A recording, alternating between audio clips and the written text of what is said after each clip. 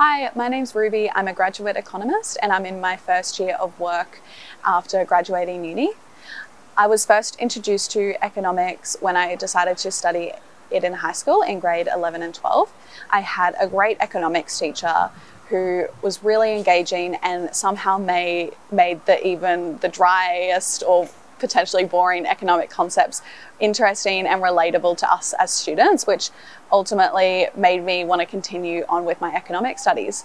I distinctly remember in grade 12 we had a budget party when the federal budget was announced, and I really enjoyed having that sense of knowledge and understanding about what was going on in the world at the time and how it would then impact Australia and as a result my community. Although I really enjoyed studying economics at, in school and university where I had this misconception that there wasn't any economics jobs in the real world because economics was really theoretical and and couldn't be applied to the real world problems. Um, this this misconception was massively debunked when I started applying and looking for graduate jobs. I realized that even though there was a lot of economist roles in the more traditional spaces like the Treasury and RBA, there was also a lot of private sector economic advisory jobs, which sounded really interesting. I participated in a mentoring program for women in economics, which involved me being paired with a mentor already working in the field. Uh, and my mentor really showed me that there were so many different applications of economics to so many different problems and considering the economic implications of businesses' decision making and government policies is a, is a vital step that all uh, businesses and governments will have to consider.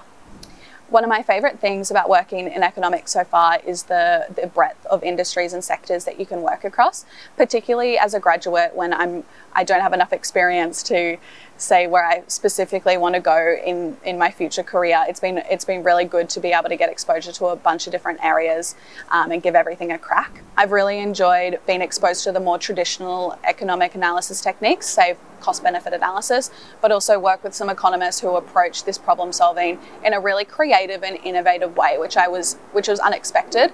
Um, the economists that I work with are able to bring their expertise to a lot of different areas that as a young person I feel invested in, uh, whether this is climate change, decarbonisation, the housing crisis, gender economics, education, and social policy.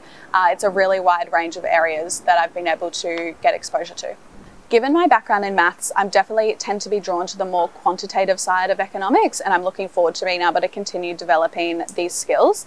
But something that economics has definitely taught me is that numbers often don't paint the full story, and being able to draw analysis into a narrative to be able to communicate the nuance of how economics can be applied is something that's really important.